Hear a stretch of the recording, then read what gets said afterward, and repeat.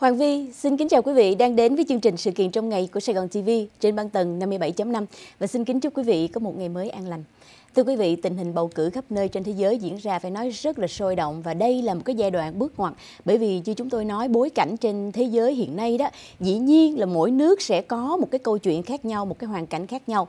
Nhưng mà nhìn chung á, thì thế giới hiện nay đang đối diện với chuyện gì? Với cái chuyện là di dân khắp nơi trên thế giới tràn lan và làm cho người dân ở mỗi nước ví dụ như ở Pháp, ví dụ như ở Anh, ví dụ như ở Mỹ đây đều cảm thấy lo sợ trước cái làn sóng di dân quá tải. Nhưng mà vì sao di dân phải đổ đến những cái nước mà họ cho là cái miền đất hứa nó tốt hơn là bởi vì chiến tranh là loạn lạc là thiên tai là băng đảng và nó xảy ra không chỉ đối với Mỹ và các nơi trên thế giới. Bên cạnh đó là câu chuyện lạm phát cũng là một cái cú hích vào toàn cầu và nó đẩy người dân ở các nước thậm chí là những nước có nền kinh tế phát triển triển như là Mỹ, như là Pháp, như là Đức, như là Anh cũng đang rất là lao đao. Nó dẫn đến cái cục diện cuộc bầu cử phải nói vô cùng gây cấn trong cái thời gian gần đây. Cuộc bầu cử lớn nhất mà mọi người trông đợi như chúng tôi nói là cái cuộc bầu cử ở nước Mỹ. Nhưng mà những thông tin về cuộc bầu cử khác cũng vô cùng sôi động thưa quý vị. Ở nước Anh, ông Thủ tướng Sunak là nhân vật thủ tướng trẻ tuổi nhất trong 200 năm lịch sử của nước Anh để chính thức là thừa nhận thất cử trong một cái chiến thắng của đảng đối lập là uh, công đảng đó phải nói là người ta nói đây là một cái chiến thắng rất là vang dội cho ừ, công đảng bởi vì để giành được đủ số ghế để thành lập nội các và bầu tân thủ tướng. Ông ờ, Thủ tướng Anh Rishi Sunak đã thừa nhận thất bại trong cuộc tổng tuyển cử này. Và quý vị biết không, ngay cái cuộc bầu cử vừa xong có kết quả vào ngày hôm thứ Sáu đó, thì ông Sunak đã lên tiếng là thừa nhận thất bại và đồng thời chúc mừng đối thủ của mình. Ông nói như thế này nè, hôm nay quyền lực sẽ được chuyển giao hòa bình và có trật tự với thiện chí của cả đôi bên. Đó là điều sẽ đem lại cho chúng ta niềm tin và sự ổn định cũng như tương lai của đất nước. Rõ ràng là người dân đã chọn Người dân đã lựa, người dân đã bầu cử và bây giờ ông chấp nhận kết quả này. Quý vị, người dân Mỹ, nếu quý vị đang là những cử tri Mỹ và chuẩn bị cũng đi bỏ phiếu vào thời gian sắp tới, quý vị nghe một cái câu tuyên bố của một thủ tướng mà đã bị thất cử như thế này, quý vị có thấy thèm không? Rõ ràng là dân Mỹ thèm chưa? Là bởi vì trong suốt cái thời gian gần đây, ở cái cột mốc từ cái cuộc bầu cử năm 2020 cho đến bây giờ, chúng ta đã quá mệt mỏi với cái chuyện là bầu cử, mình mình gọi là túc tắc đi bầu tranh thủ thời gian để mà đi bầu, đi bỏ phiếu, bầu cử xong ra kết quả, rồi lại phải chứng kiến 4 năm vừa qua kéo dài và thậm chí không biết là sau cái cuộc bầu cử vào tháng 11 sắp tới đây, liệu rằng ông Donald Trump, một trong ứng cử viên để mà so găng của cuộc bầu cử này đó, nếu mà ông thua thì ông có chấp nhận cái kết quả và chấp nhận cái chuyện chuyển giao quyền lực như thế này không? Điều này hơi khó. Chắc quý vị còn nhớ cái kinh nghiệm thương đau trong cái cuộc bầu cử năm 2020, dứt khoát không chuyển giao quyền lực và thậm chí sau đó cứ tố đi tối lại là bầu cử gian lận bất chấp rất nhiều những cái cơ quan khác nhau của nước Mỹ và trong đó kể cả Bộ trưởng Tư pháp rồi FBI đều là những người dưới trướng của ông Donald Trump đưa ra cái kết luận chung là không có bầu cử gian lận trên diện rộng để mà thay đổi kết quả bầu cử. Người dân Mỹ chán ngấy lên tới tận não về những cái thuyết là bầu cử gian lận và bây giờ chuẩn bị bước vào một cái trang sử mới, một cái lật sang trang rồi, một cái chapter mới nhưng vẫn cứ nói là bầu cử 2020 là gian lận. CNN vào sáng ngày hôm nay, chúng tôi thấy là họ đưa ra một cái cuộc khảo sát. Họ nói là phần lớn những người cử tri mà được hỏi đó đều cho rằng là nếu như ông Trump mà thất cử đó, thì khó lòng ông có thể chấp nhận là thua cuộc. Mà cần gì CNN phải khảo sát thưa quý vị. Chúng ta nếu mà theo dõi tình hình chính trường của nước Mỹ sẽ thấy rất là rõ ông Trump và cả những người học trò của ông đều liên tiếp tuân theo một cái thuyết như thế này nè là nếu mà thắng thì yeah Em được đón nhận là vì em giỏi, còn nếu là thua thì đó là bầu cử gian lận. Quý vị thấy cô ờ, ứng cử viên um, Carrie Lake của tiểu bang Arizona đó đi bầu cử thống đốc đó và thua và đến giờ này vẫn cứ nói đó là cái cuộc bầu cử gian lận. Ông Trump cũng vậy à, xuất hiện trong tất cả những cái cuộc tranh luận và phỏng vấn khác nhau. Mới nhất là cái cuộc tranh luận với lại ông Biden ngày 27 tháng 6.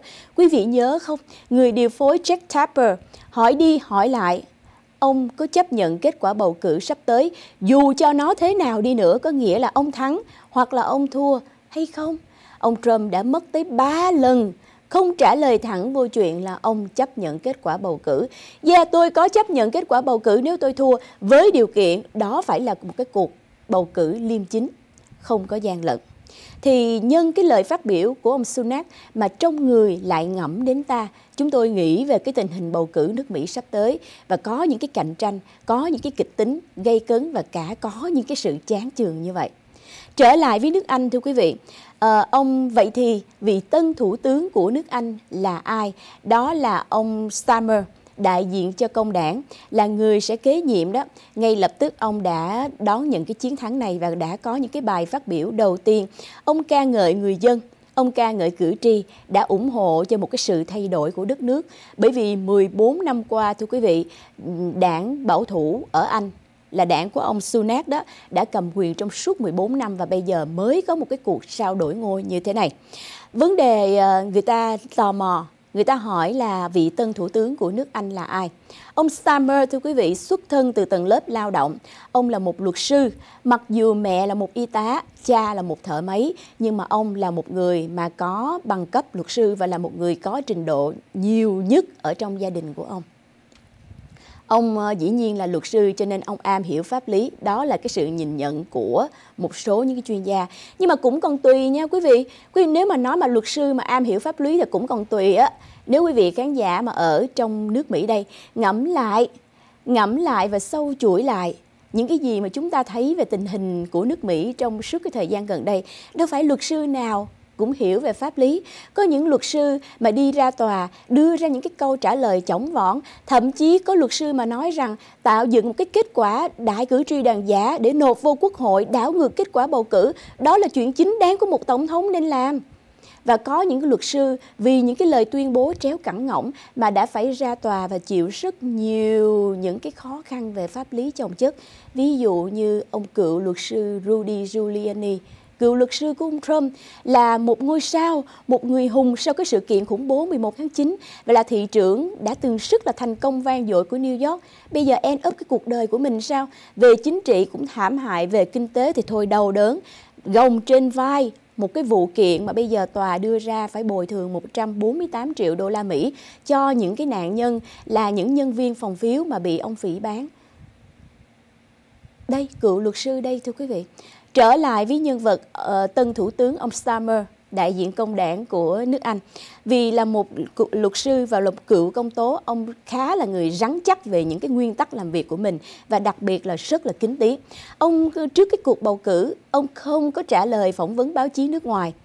Nhưng mà những người uh, đồng nghiệp của ông á, nói là nó cũng nhất quán là bởi vì ông không có nói quá nhiều về những cái bước đi của mình Tuy nhiên có một điều mà ông không che giấu và ông hay nói với lại cử tri của mình đó là ông có xuất thân từ bình dân. Như chúng tôi nói ba làm thợ máy và mẹ làm y tá.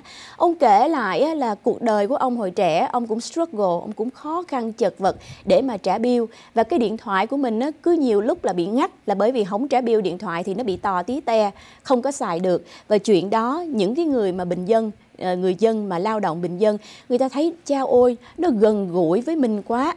Gia đình của ông cũng không bao giờ đi du lịch nước ngoài luôn. Và ông nói rằng á, bây giờ cái suy nghĩ của ông là làm sao giúp cho người dân anh có được một cái mái nhà che nắng, che mưa.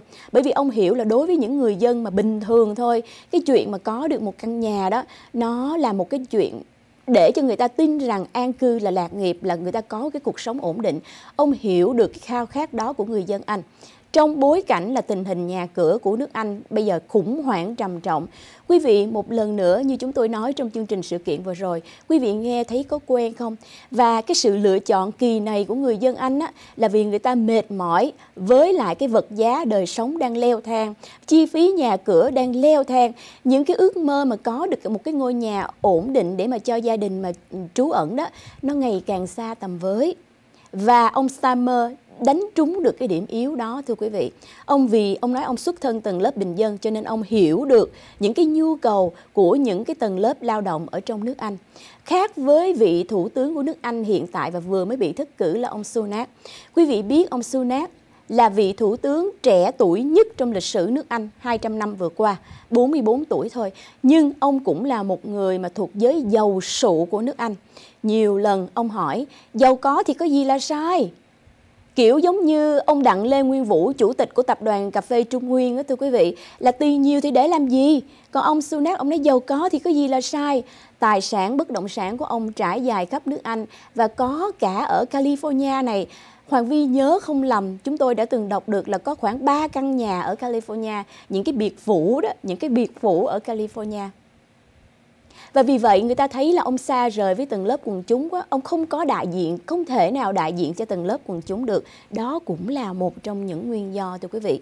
Nhưng cái nguyên do chính yếu là người dân Anh cảm thấy mệt mỏi với những cái khó khăn về tài chính và kể cả vấn đề về nhà ở. Và đây là một cái thông điệp cảnh báo đối với ngay chính đương kim tổng thống Biden trong cái cuộc bầu cử sắp tới.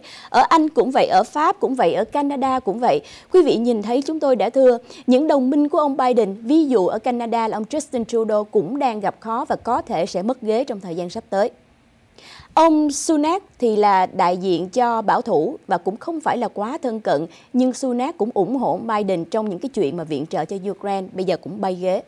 Bên phía Pháp, ông Macron cũng đang lao đao đang rất nhiều những cái lao đao và dĩ nhiên ông Biden cũng đang đứng trước muôn vàng khó khăn thưa quý vị.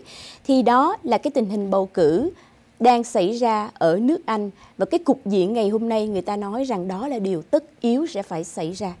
Ở Pháp thì sao? Như chúng tôi nói ông Macron, ông tổng thống của nước Pháp đang đối diện với làn sóng cực hữu uh, đảng cực hữu của bà Le Pen đang trỗi dậy. Tới mức độ là bây giờ như chúng tôi nói 200 ứng cử viên chuẩn bị để ra tranh cử để mà cho những cái chiếc ghế ở quốc hội đó và ngăn ngừa cái làn sóng trỗi dậy của đảng cực hữu. Bây giờ thậm chí là họ rút lui luôn. Họ dồn phiếu lại, họ không có chia trí, chia phiếu, chia lực nữa. Họ để cho những ứng cử viên nào mà có khả năng thực sự chiến thắng đó thì hãy dồn lại để làm chi? Để mà ngăn ngừa cái làn sóng bảo thủ của bà Le Pen. Nhưng mà ngày hôm nay đó, thưa quý vị, đội trưởng, đội tuyển Pháp là Pape đã đưa ra cái lời kêu gọi là mọi người bây giờ phải đi bầu và làm thế nào đó để ngăn ngừa cái làn sóng cực hữu của bên phía bà Le Pen trỗi dậy bởi vì điều đó vô cùng nguy hiểm cho nước Pháp nói riêng và cả cái nền dân chủ của thế giới nói chung. Nhưng mà bà Le Pen bà không sợ, bà nói giờ tôi chấp hết luôn. Tôi chấp đội ờ, lấy ờ, ngôi sao của ờ, môn túc cầu ra phải không để kêu gọi phải không? Rồi những ứng cử viên nào là rút lui để mà dồn phiếu lại đâu, tôi chấp bởi vì xu hướng cực hữu đang trỗi dậy. Bà Le Pen tự tin là đảng cực hữu của bà sẽ tiếp tục giành chiến thắng trong quốc hội sắp tới. Thì đó là một cái thế vô cùng khó khăn cho ông Tổng thống Macron. Nhưng mà như thế này quý vị, chúng tôi đang để ý là trong lúc cái tình hình thế giới đó là nó có cái sự những những cái chuyện mà sao đổi ngôi như thế này. Và dĩ nhiên ở nước Mỹ trong cái cuộc bầu cử ngày 5 tháng 11 sắp tới đây, giữa hai ứng cử viên là Joe Biden và Donald Trump. Không biết là đương kim Tổng thống Biden có giữ được chiếc ghế là ông chủ của Tòa Bạch Ốc nhiệm kỳ 2 hay không, hay sẽ là sao đổi ngôi là ông Donald Trump sẽ có nhiệm kỳ 2 và là bước trở thành Tổng thống thứ 47. Chỉ có điều là người dân Mỹ thực sự cảm thấy vô cùng mỏi mệt và chán ngán bởi hai nhân vật là hai kiện tướng lão thành đã quá già cỗi như thế này rồi trong người lại ngẫm đến ta. Quý vị nhìn thấy nãy giờ chúng tôi có ý khi nói ông Thủ tướng Sunak của nước Anh vừa mới bị thất cử 44 tuổi ha. Bây giờ ông Starmer là tân thủ tướng của nước Anh cũng chỉ mới có 59 tuổi mà thôi.